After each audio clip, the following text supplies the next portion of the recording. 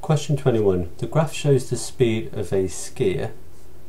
Nick wants to estimate the distance travelled by the skier in 140 seconds. He, wants, he works out the area of the triangle with vertices 0, 0, 140, 0 and 99.8. Does Nick's method give a good estimate?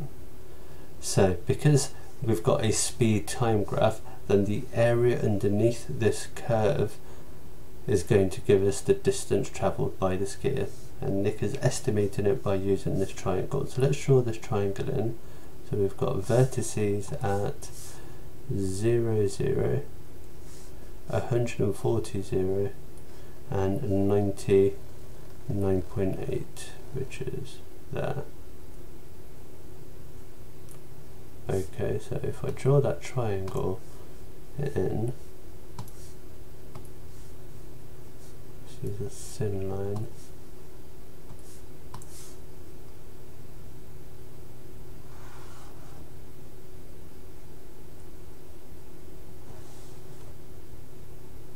Okay, so the area under this triangle um, is um, what Nick's estimate is and we're deciding if this is a good estimate. So is that roughly the same as the area under the curve?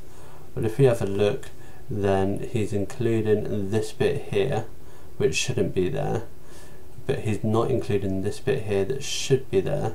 So they kind of cancel each other out. And these here I mean altogether I think they're roughly cancelling each other out. So um, does Nick's method give a good estimate? It's an estimate so I'm going to say yes and I'm going to say um, so the extra area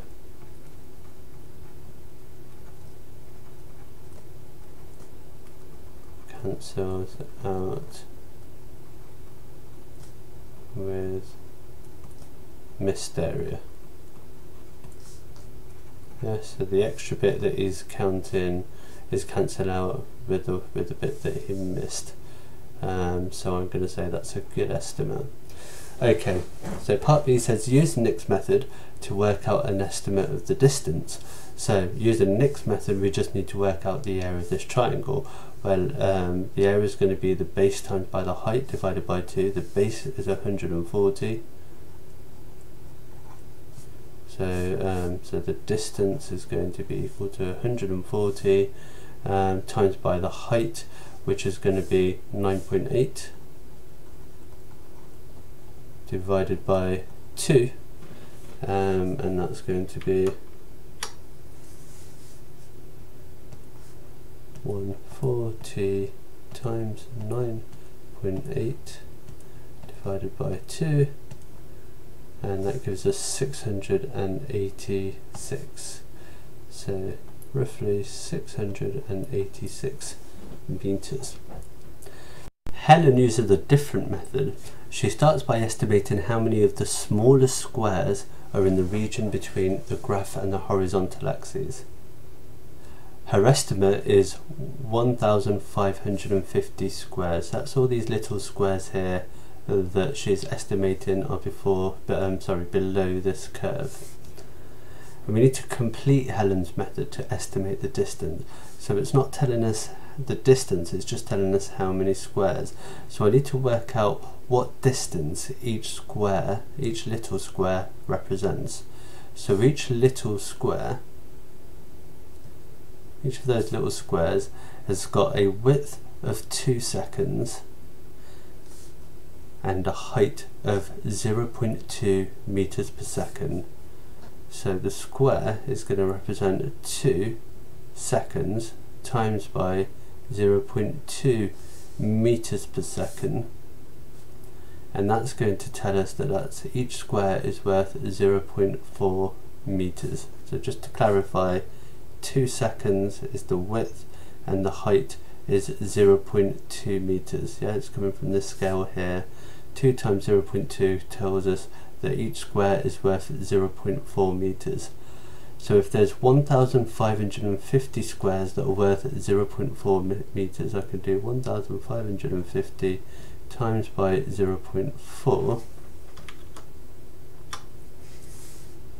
1550 times by 0.4 and that tells me that there's 620 meters okay so that's equal to 620 so using Helen's method her estimate is going to be 620 meters and I would say that Helen's estimate is is going to be better than Nick's estimate um, because it's um, using something that looks like it's going to be more accurate.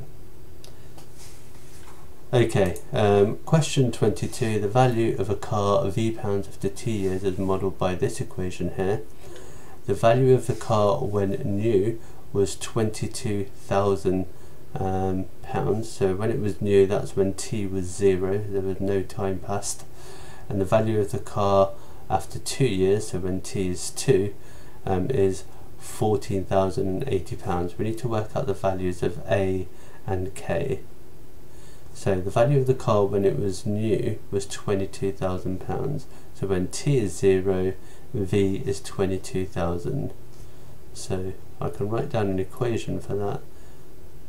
22, 1, 2, 3 is going to be equal to A times k to the power of 0 and k to the power of 0 is going to be 1 so it's just going to be a times 1 which means that a is going to be equal to 22,000 pounds. The value of the car after two years is 14,080 pounds so I know that after two years I've got 14,080 pounds and that's going to be equal to A which I've now worked out to be 22,000 times K to the power of negative T which is 2 so it's going to be negative 2 so K to the power of negative 2 must be equal to 14,080 divided by 22,000. I'm just going to write that down. k to the power of negative 2 is going to be equal to 14,080 divided by 22,000 pounds. So um, that means that k squared must be equal to the reciprocal of this. So we've got 22,000 divided by 14,080. Okay, so I can now use my calculator. Let's um, stick that in there. So we've got 22 divided by 14 that gives me 25 sixteenths. And um, that tells me that k is going to be equal to the square root of 25 sixteenths which is going to be equal to 5 quarters.